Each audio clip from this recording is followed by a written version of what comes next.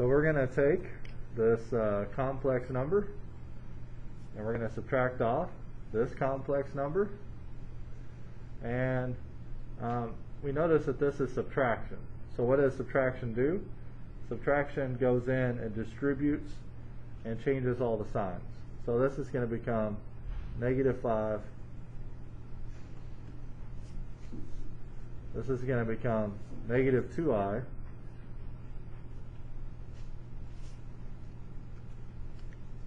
And that's because of this negative. Now what happens here? Well, there's nothing in front, so you could technically drop the parentheses.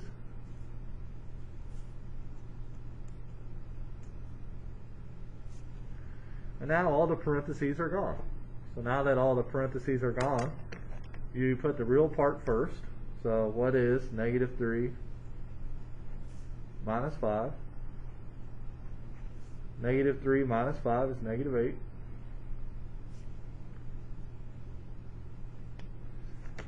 And then you do the imaginary part, and you really just treat imaginary just like you would an x, except i times i is i squared, which makes negative 1, and we'll talk about that in another problem. But here we have 4i minus 2i would be plus 2i. And that's it. Okay, all you have to do is make sure the real part's first, the imaginary part the second.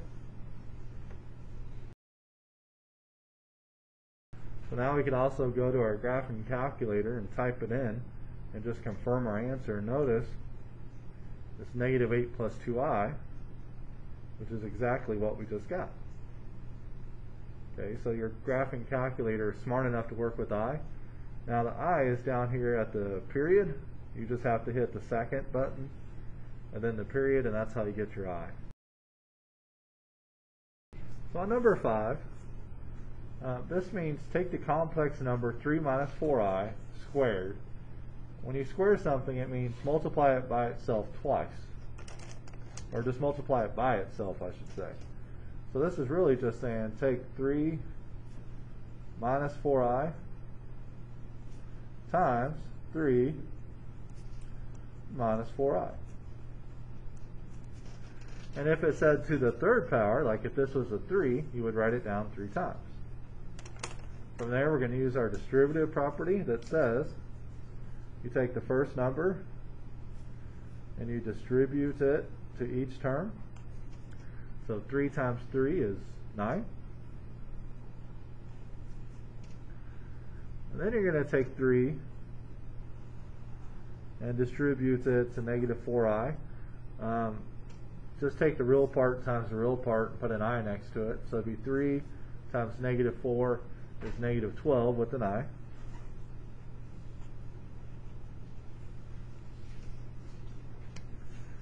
You then move to your second term, negative 4i, and you distribute that to both terms. Negative 4i times 3 is negative 12i. And then negative 4i times negative 4i. Let's see, negative 4 times negative 4 is 16. And then i times i is i squared.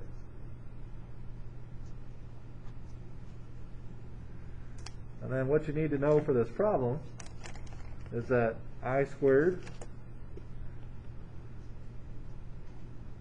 is always equal to negative 1 by, by definition. So anytime you have i squared, you can replace it with negative 1. Okay, so I'm going to go down here I have 9 minus 12i um, minus 12i. But now I know that this is 16 times negative 1.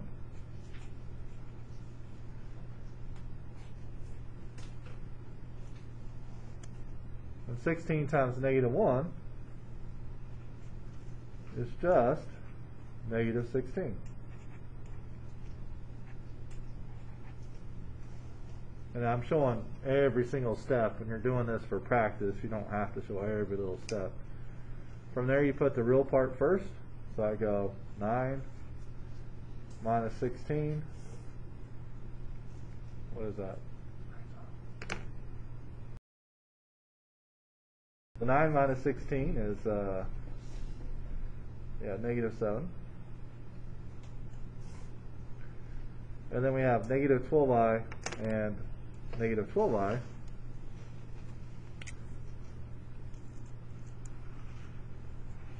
That make negative 24i. And then just make sure you have the real part first, and then imaginary, and then it should be fine. So we took a second and we typed it into the graphing calculator, and we got negative 7 minus 24i, which is the same thing we just got. So now I have 3 plus 7i divided by 5 minus 3i. Um, you never want i's in the denominator. So we are going to get the i out of the denominator. And the way you do that is if it's 5 3i with the minus, you're going to multiply by 5 3i with a plus. So that's called the complex conjugate. So in other words, I am going to multiply by 5 plus 3i.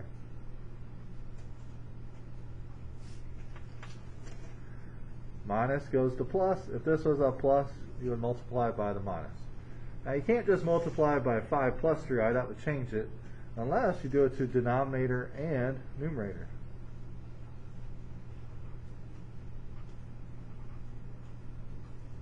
That's a plus sign. And so now what I have, I need to take 3 plus 7i times 5 plus 3i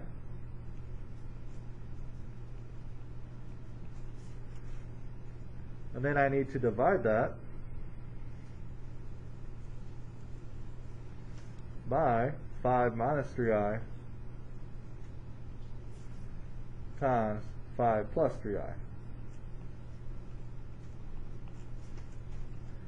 So I need to multiply twice. So from there, I'd go 3 times 5 is 15.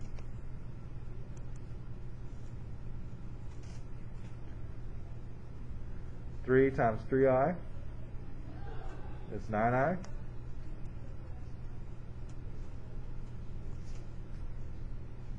So I distributed the 3 to the 5, the 3 to the 3i. Now I'm going to move to the second term, 7i, and take 7i times 5, that's 35i.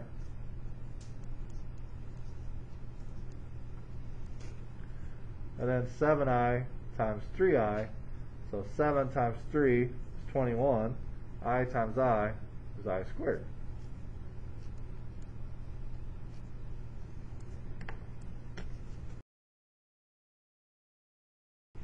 Now we're going to multiply denominators. So I'm going to go 5 times 5, 25. 5 times 3i, 15i. So I just distributed the, the 5 to the 5, the 5 to the 3i. Now I'm going to move to the second term, negative 3i, multiply it by 5. That'd be negative 15i.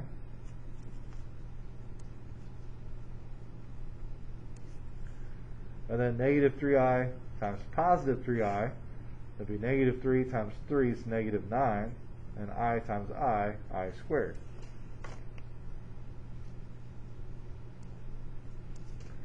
Now I want you to notice that these cancel.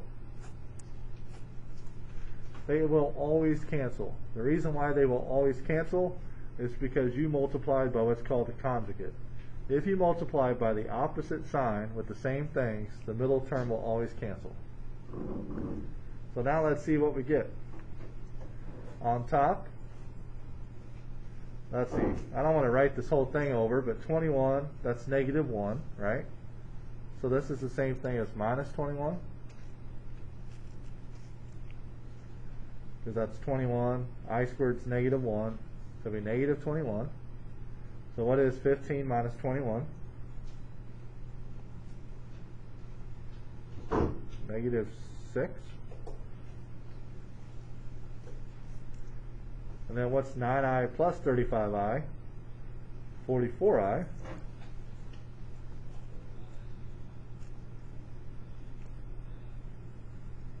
So I have simplified the numerator.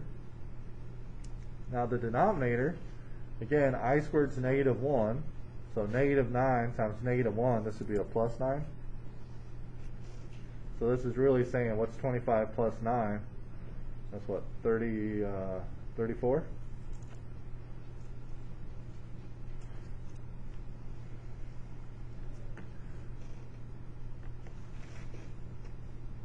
And then from there, some people leave the answer like this, but you really want the real part separate from the imaginary part.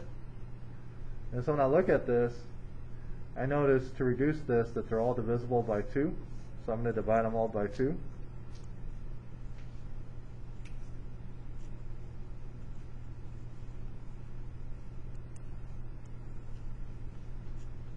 If they were all divisible by 2 again, I would keep dividing by 2 or keep dividing by 3. Um, 3 is the smallest number. 3 does not go into 21. 3 does not go into 17. And then we're going to separate this into the real part, so it'll be negative 3 over 17, plus the imaginary part, 22 over 17. So I just found that when you divide these, you get negative 3 seventeenths plus 22 seventeenths i. So we wanted to double check our work. So we typed it in. Notice I used parentheses to separate the numerator from the denominator. We got this decimal. So then I hit math, enter, enter, which changes this answer to a fraction. And I notice negative 3 seventeenths plus 22 seventeenths i is the same thing we got here.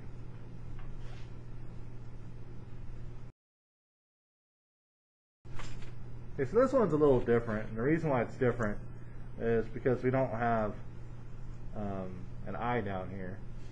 We actually don't have an i anywhere, but we really do, and the i is right here because the square root of a negative, by definition, is i. So what I'm going to do is I'm going to take the square root of negative 8 and just write it over here. And the first thing I'm going to do is negative 8 is the same thing as negative 1 times 8.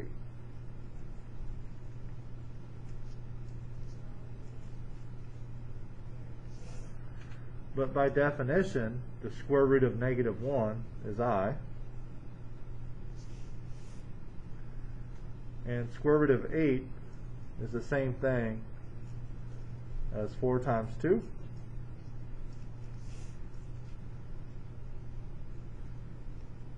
Then the square root of 4 is 2. So I just found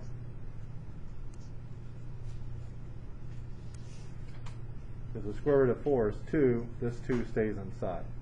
So I just found that negative I'm sorry, square root of negative 8 is the same thing as 2i squared of 2.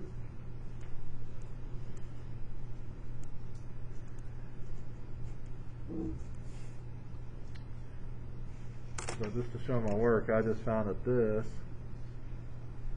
and I wrote it over here, and I found that that's the same thing right here, so I put that here. I went from here to here, and there to there, and I put it there. Maybe too many arrows, I don't know. That's all divided by negative 2.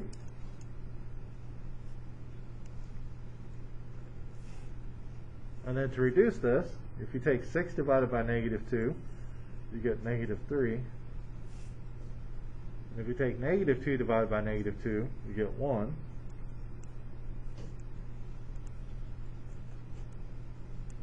So I just found that in simplified form, this is negative 3 plus 1i squared of 2. You don't technically need the 1.